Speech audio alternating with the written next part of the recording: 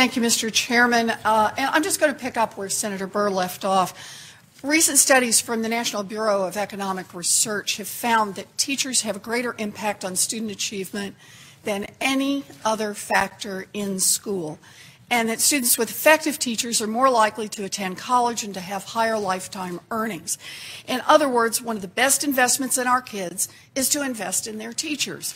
So, Dr. Handy Collins, there are a lot of ways that we can invest in our teachers and principals, but do you see anything in the Republican draft proposal that requires that a single dollar of federal aid be used to improve teaching? Well, what we see is a list of allowable uses of funds under Title II, and what we're advocating for, I'll say once again, is dedicated funding to professional development for our teachers and for our school leaders. Right. So I understand that there's a list, but nothing that requires that any of it be spent on teachers. Uh, Mr. Hinojosa, is that your reading as well? Yes. What I'm hearing is that uh, you know, it is very difficult in, uh, areas of poverty to get uh, highly effective teachers. So we have a responsibility to train teachers, to develop these teachers, because these are the ones that are in our communities. I'm competing against 16 other districts locally in San Antonio. So we have to work with uh, these teachers and providing an environment where they're going to want to stay. We've been very effective. I mentioned the junior high. We had a retention rate of over 90%, which, uh, again, this was because of the fact that uh, we put uh, things into place that we were going to support our teachers that they were going to feel when they came in that it was going to be daunting and that they were not going to be supported. So it's very important that we do support our teachers to be thank highly you. effective. Yeah, thank you. You know, as I read the Republican draft proposal, yeah. states and districts would no longer be required to invest Title II funds in teachers and leaders. Maybe it will happen sometimes, but nothing in this draft requires the states to spend a, fe- a, single federal tax dollar on strengthening teachers. And this is a huge concern for me. We keep asking more and more and more of our teachers, but this Republican draft proposal doesn't do a single thing to make sure that the states will actually use this federal money to help teachers do their jobs. Giving billions of dollars in federal aid to states without requiring them to spend a dime of that money on helping our teachers is not a responsible use of federal tax dollars. Not good enough for our teachers, and sure enough, not good enough for our kids. Now, I want to ask about something else as well, and I want to start with the point that Senator Bennet made last at last week's hearing that really struck with me. For the first time, poor children will be the majority of public school children in America. The law that became No Child Left Behind was originally enacted back in the 1960s as part of President Johnson's war on poverty. And we have to ask ourselves how we can make this law a more powerful weapon against poverty. Ms. Moore, do you have all the resources you need to combat the effects of poverty in the school where you work? And if not, what additional resources and support would help you with your work? Um, no, I, I, don't believe that I have all of the supports that I need. Um, while I have the teacher preparation, I think that a lot of other things um, have a direct impact on learning uh, our students in the classroom. So in my case, there's a lot of students who are dealing with the effects of trauma, whether that be domestic violence, abuse, homelessness, um, poverty.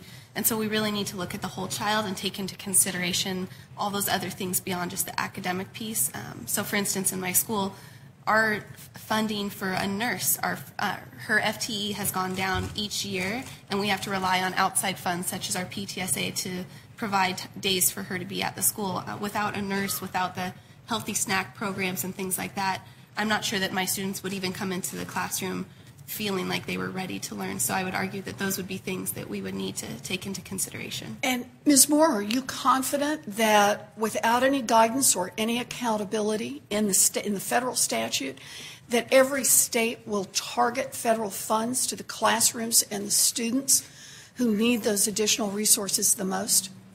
Without um, hearing teacher voices, I would worry that they wouldn't know what needs we have. Um, so without really getting into the classrooms and talking to the teachers and figuring out what do your students need in order to be successful in the classroom, I'm not sure that they would know what those are. Well, thank you. I think that Ms. Moore reminds us that there's a lot going on outside the classroom in the lives of our vulnerable children. And we need to make sure that these children have access to the full range of services that they need to learn and to succeed.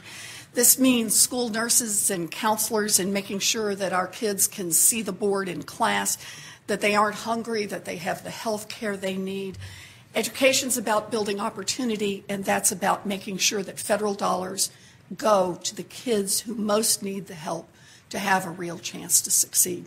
Thank you, Mr. Chairman. Thank you, Senator Warren. Senator Warren, then Senator Isakson, and then Senator Baldwin. Thank you, Mr. Chairman. Uh, and I'm just going to pick up where Senator Burr left off. Recent studies from the National Bureau of Economic Research have found that teachers have a greater impact on student achievement than any other factor in school, and that students with effective teachers are more likely to attend college and to have higher lifetime earnings. In other words, one of the best investments in our kids is to invest in their teachers.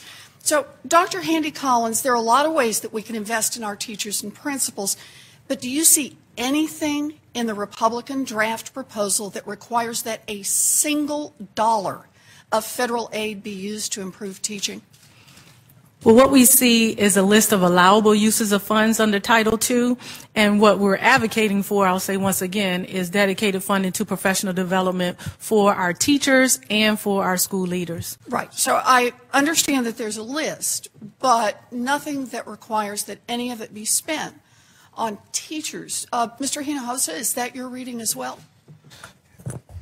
Yes, what I'm hearing is that uh, you know it is very difficult to, in uh, areas of poverty to get uh, highly effective teachers. So we have a responsibility to train teachers, to develop these teachers, because these are the ones that are in our communities. I'm competing against 16 other districts locally in San Antonio, so we have to work with uh, these teachers and providing an environment where they're going to want to stay.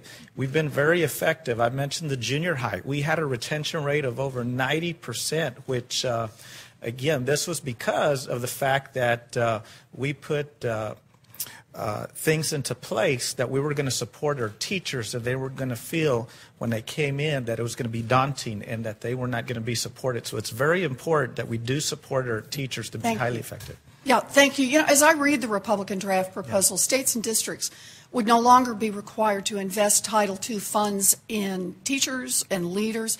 Maybe it will happen sometimes, but nothing in this draft requires the states to spend a, a single federal tax dollar on strengthening teachers. And this is a huge concern for me. We keep asking more and more and more of our teachers, but this Republican draft proposal doesn't do a single thing to make sure that the states will actually use this federal money to help teachers do their jobs. Giving billions of dollars in federal aid to states without requiring them to spend a dime of that money on helping our teachers is not a responsible use of federal tax dollars. Not good enough for our teachers, and sure enough, not good enough for our kids.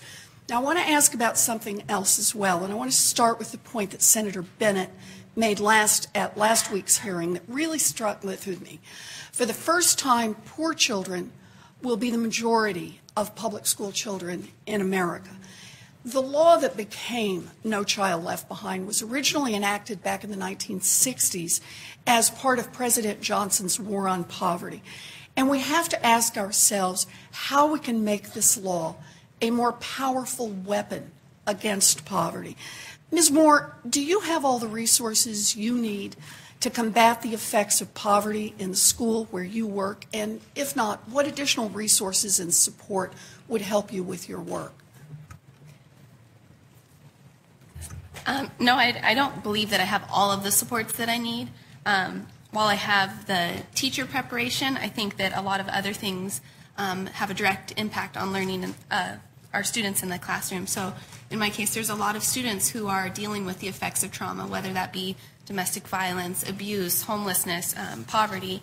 And so we really need to look at the whole child and take into consideration all those other things beyond just the academic piece. Um, so for instance, in my school, our funding for a nurse, our, uh, her FTE has gone down each year, and we have to rely on outside funds such as our PTSA to provide days for her to be at the school. Uh, Without a nurse, without the healthy snack programs and things like that, I'm not sure that my students would even come into the classroom feeling like they were ready to learn. So I would argue that those would be things that we would need to take into consideration. And Ms. Moore, are you confident that without any guidance or any accountability in the, in the federal statute, that every state will target federal funds to the classrooms and the students who need those additional resources the most?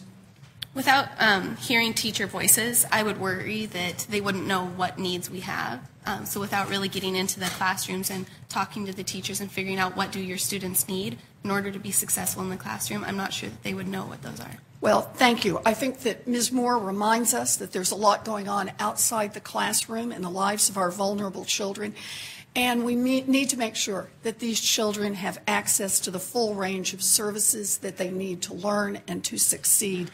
This means school nurses and counselors and making sure that our kids can see the board in class, that they aren't hungry, that they have the health care they need. Education's about building opportunity, and that's about making sure that federal dollars go to the kids who most need the help to have a real chance to succeed. Thank you, Mr. Chairman. Thank you, Senator Warren. Senator